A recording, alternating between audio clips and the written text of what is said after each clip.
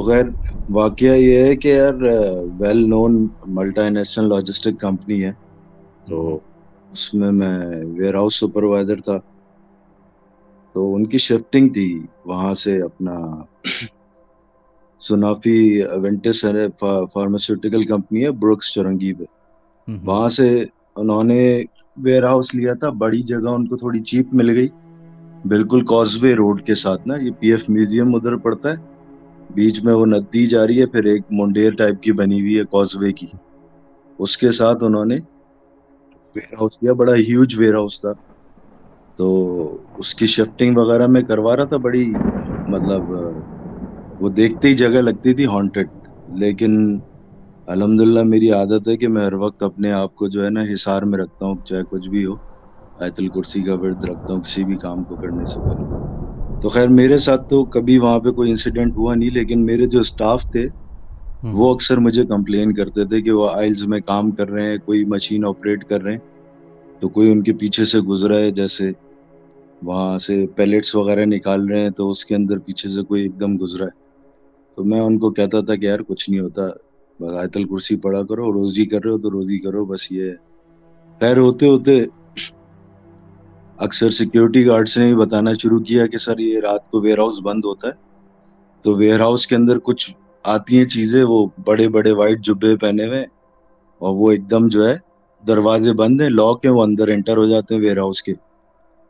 तो चलता रहा, इस तरह की बातें चल रही थी। फिर हमारा जो कस्टमर सर्विस का स्टाफ था, उसका ऐसा था कि मतलब वो जिस ऑफ़िस में जहाँ बैठते थे वहाँ डॉक्स थी सामने और बीच में बड़ा सा हॉल था और उसकी हाइट तकरीबन होगी अच्छी खासी फोर्टी फिफ्टी फीट तक जो है ना हाइट उसकी होगी क्योंकि वहाँ बड़ी एम चलती थी। मशीन जिनसे सारा ऑपरेट करते हैं मतलब पैलेट्स वगैरह गाड़ियों में लोड करते हैं और फोक लिफ्ट वगैरह चलती है वो सारी चीज़ें। तो वो एक अच्छा बीच में पैसेज था जिसके बिल्कुल साथ वो ऑफ़िस बना हुआ था जिसमें फ्लोर टू सीलिंग पूरा ग्लास लगा हुआ था। तो सामने सारा दिख रहा होता था।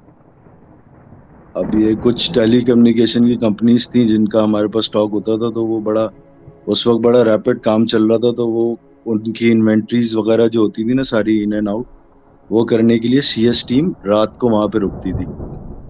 तो अब वहाँ पे हमारे एक दोस्त थे, अमजद भाई और एक अपना, एक और लड़का था। खैर, दो दोस्त थे, वो दोनों बैठे हुए रात में काम कर रहे थे। तो बकौल उनके के रात को वो काम कर रहे थे तो अपना एकदम उनको ऐसा लगा कि फायर एक्सटिंग्विशर्स जो है, वो जो बाहर लगे हुए हैं, वो अंदर उनको नज़र आया ऑफ़िस के अंदर ना। तो उसने, दूसरे ने जो है ना, उसको अमजद को बोला कि यार, ये देख, इस तरह मुझे नज़र आ रहा है। तो अमजद ने उसको कहा कि यार, छोड़, पूरी रात में काम काफ़ी निपटाना है, फिर सुबह जाना है। बस जल्दी जल्दी वाइंड अप करके निकले काम को। इतनी देर में वो जो है ना वहाँ पे लाइट चली गई और वो बैकअप जनरेटर पे थी। तो अब वो हेलोजीन्स लाइट होती है तो वो जब एक दफ़ा स्विच ऑफ़ हो जाती है तो उनको दोबारा जलने में टाइम जनरेटर चलेगा फिर हाँ टाइम लगता है तकरीबन दस पंद्रह मिनट लगते हैं। और वो तो हल्के बड़े स्लोली ब्राइट होती है ना। बिल्कुल ऐसे ही है। तो हम्म। और वो जगह भी बहुत बड़ी है तो फिर उसको टाइम लगता है कि वो पूरी मतलब ब्राइट हो जाए जगह। हम्म। तो इतनी देर में जो हाँ काशिफ भट्टी हमारे दोस्त थे। काशिफ भट्टी साहब जो है वो अपना बैठे हुए थे और सिस्टम पे काम कर रहे थे। तो एकदम जो है उन लोगों को लगा कि सामने जो वो पूरा डॉक है जो शीशे के उस तरफ़ जहाँ पे सामने उनको नज़र आता था कंटेनर्स वगैरह लोड होने के लिए वहाँ पे कोई बड़े बड़े तीन चार आदमी है जो आगे दौड़ रहे हैं और उन्होंने वाइट जुब्बे पहने हुए उनके मुँह पे जो है ना बाल हैं बड़े बड़े ये उनको आप आइडेंटिफाई नहीं कर सकते कौन है, लेकिन उनकी हाइट इतनी बड़ी है कि वो ज़मीन से लेके वो जो मैं बता रहा हूँ कि 40 से 50 फीट का एरिया था, वहाँ तक वो इतने ऊपर ऊपर तक लंबे लंबे इतने थे कि वहाँ वो घूम रहे अब वो काशिफ तो उनको देखते ही मतलब ऐसा हो गया कि वो वहीं पे लॉक हो गया। ये मूव नहीं कर सकता फिर उसने जो है ना कोशिश करके अमजद को ऐसे हाथ से हिलाया वो बराबर वाले सिस्टम में उसके साथ बैठा हुआ था। तो अमजद अपना फोकस था उसी सिस्टम के ऊपर। लाइट चली जाती थी तो फिर को अंधेरा होकर सिर्फ़ मॉनिटर की रोशनी आपके मुँह पे पड़ी होती है साइड इधर उधर नज़र नहीं आ रहा होता। हम्म। तो उसने उसको हिलाया अमजद को। अमजद ने उसको दो तीन दफ़ा मना किया उसने कहा कि यार काम करने दे काम खत्म करना है। इस तरह करके उसने उसको इग्नोर किया फिर उसको काशिफ ने ज़ोर से हिलाया और आगे की तरफ़ शीशे की तरफ़ इशारा किया उसको दिखाने के लिए। बोल तो कुछ पा नहीं रहा था वो सुन हो गया दोस्तों तो अमजद ने भी जब वो देखा तो अमजद साहब भी वहीं पे एक मिनट के लिए शॉक हो गए लेकिन अमजद ने क्या किया? फ़ौरन उस, उसको देखना बंद कर दिया। बल्कि नहीं उन्होंने कहा बीच में एकदम क्या हुआ कि वो लोग खेलते खेलते ऐसे और शीशे के बिल्कुल सामने आ गए और शीशे के सामने बड़ी बड़ी जबानें करके इनको देखना शुरू हो गया उसी स्प्लिट सेकंड में जबकि काशिफ ने अमजद को कहा कि उस तरफ़ देखो। तो अमजद ने वो सीन देखते ही जो है ना, मुँह पीछे की तरफ़ कर लिया और आयतल कुर्सी ज़ोर ज़ोर से पढ़ना शुरू कर दी। और बस इसी असना में जो है ना, वो लाइट हल्की हल्की आना शुरू हो गई और थोड़ी देर में लाइट पूरी हो गई और इन लोगों ने फिर जो है सिक्योरिटी वगैरह को बुलाया। बाहर सिक्योरिटी होती थी तो वो सिक्योरिटी वाले भी सारे आए सब कुछ जो है कुछ नहीं था वहाँ पे नॉर्मल हम लोग सुबह आए अपना ये लोग नाइट शिफ्ट में थे मैं सुबह जा सुबह गया तो हम कैंटीन में बैठे हुए थे तो काशिफ साहब की तो हालत ऐसी थी कि वो बिल्कुल उस वक्त भी जो है ना दीवारों को इधर उधर मतलब कैंटीन में बैठे हुए हम सुबह ब्रेकफास्ट कर रहे हैं सारे बैठे हुए और काशिफ एबसेंट ही है लाइक हम्म। जिसने सबसे पहले देखा था ना वो वो स्टॉक में ही था हम्म। हाँ वो पॉज ही था। और वो ऊपर देख रहा था मतलब हम लोग नीचे बैठे हुए हैं टेबल पे, वो ऊपर छत के ऊपर ही देख रहे हैं इधर उधर। मतलब वो अपने सेंसेस में नहीं था। फिर काफ़ी मतलब वो एक दो हफ़्ते उसको बुखार रहा, वो आया आया नहीं, फिर आ गया। वापस उसके बाद फिर जो है वो, अब उसके वेयर हाउस के चारों तरफ़ जो थी, चौकी टाइप की बनाई हुई थी। तो वो सारे जो रिटायर्ड आर्मी के थे, वही सिक्योरिटी के इंचार्ज वगैरह थे तो उन्होंने बिल्कुल वैसे ही पूरा डिज़ाइन किया हुआ था। तो वहाँ पे एक सिक्योरिटी गार्ड भी बैठता था। उसने भी एक दो दफ़ा बताया कि भाई ये दीवार के पीछे अक्सर जो है ना रात को दो तीन बजे वो एक औरत आती है उसके बच्चे खेल रहे होते हैं। तो बड़ा वो उसका जो है ना एक्सपीरियंस काफ़ी वो रहा। मेरे साथ तो नहीं हुआ लेकिन हर दूसरे बंदे के साथ वहाँ पे कुछ ना कुछ मामला रहा। हम्म। तो कनेक्शन यही था कि वहाँ वो जगह जो है ना वो हॉन्टेड ही है। बिकॉज़ कि मतलब जब से पाकिस्तान बना है तब से वहाँ पे कुछ बना ही नहीं अब नए नए वेयर हाउसेस या प्लॉट्स बन रहे हैं। तो अब वो उसका पता नहीं क्या है उसकी हिस्ट्री वगैरह क्या है बट ये है कि वहाँ पे ऐसे मामला रहते हैं। तो फिर उसका जब बताया दूसरा दूसरा जी।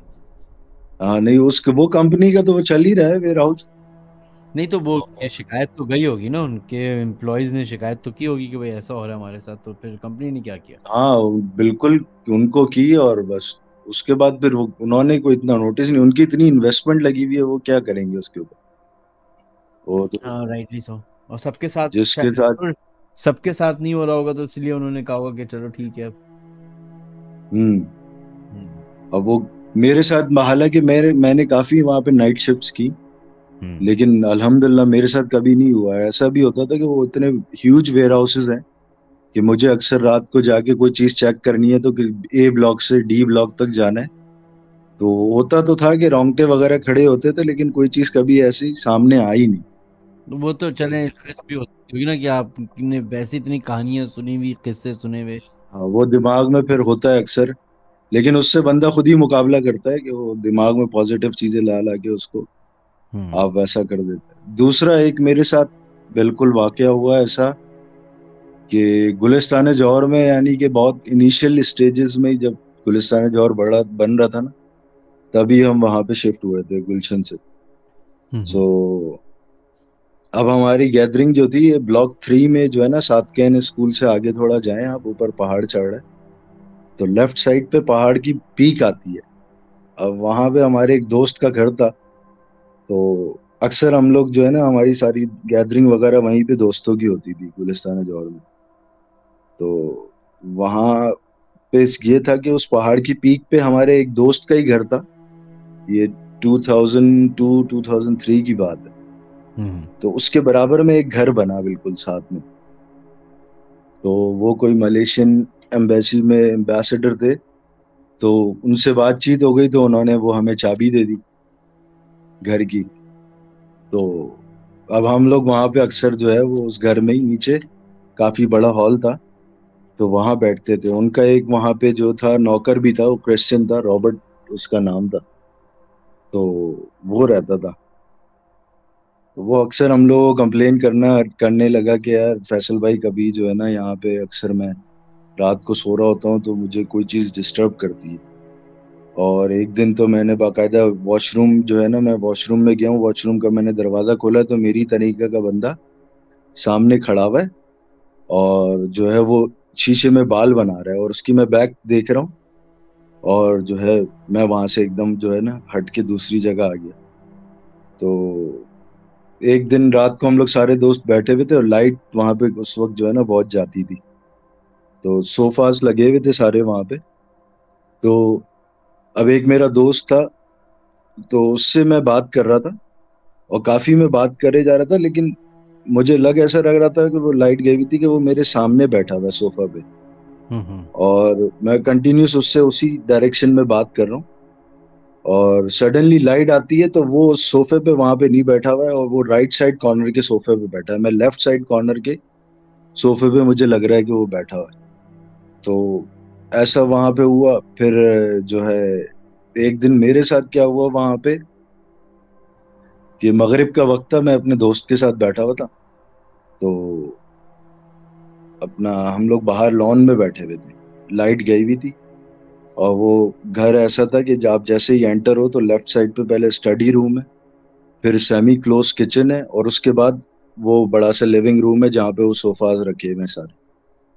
तो आप जब एंटर होते थे तो मगरिब के वक्त ऐसा होता था कि हल्की सी लाइट अंदर आ रही है और इतना मतलब हल मतलब कोई आपको सामने बैठा होगा नज़र आएगा लेकिन आप उसको सेवेंटी एटी परसेंट आप उसको देख सकते हो हम्म। थोड़ा सा ब्लर ही रहता था तो जैसे ही मैं उस, उस कॉरिडोर में उसमें एंटर हुआ हूँ तो दोस्त तो मेरा बाहर बैठा था, मैंने उसको कहा कि मैं जरा टॉयलेट से होकर आ रहा हूँ। तो मैं अंदर जैसी गया हूँ, मैंने जैसी अंदर एंटर होके स्टडी रूम क्रॉस करा था और किचन पे मैं स्टेप रखने वाला था और किचन के फ़ौरन बाद वो हॉल था।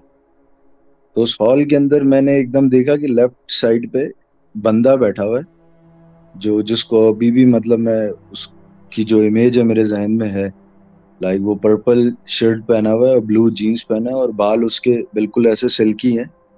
और वो मुँह पे आए हुए और वो मुँह, सर पे हाथ रख के बैठा है, उसकी शक्ल मुझे नज़र नहीं आई।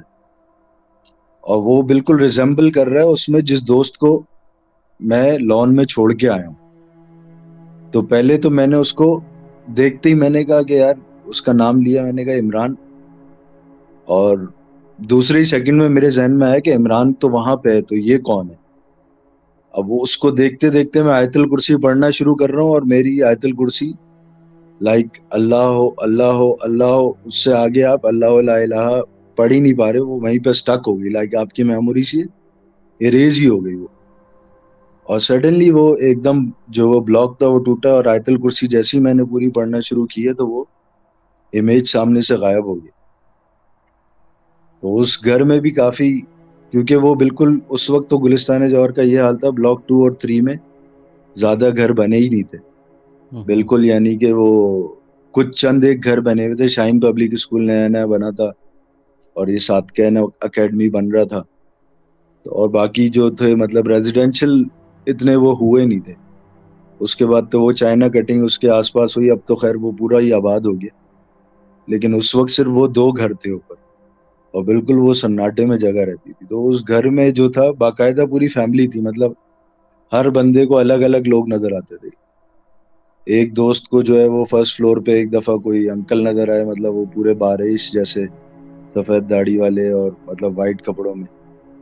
तो ये एक और वाकया भी ज़िंदगी में साथ रहा।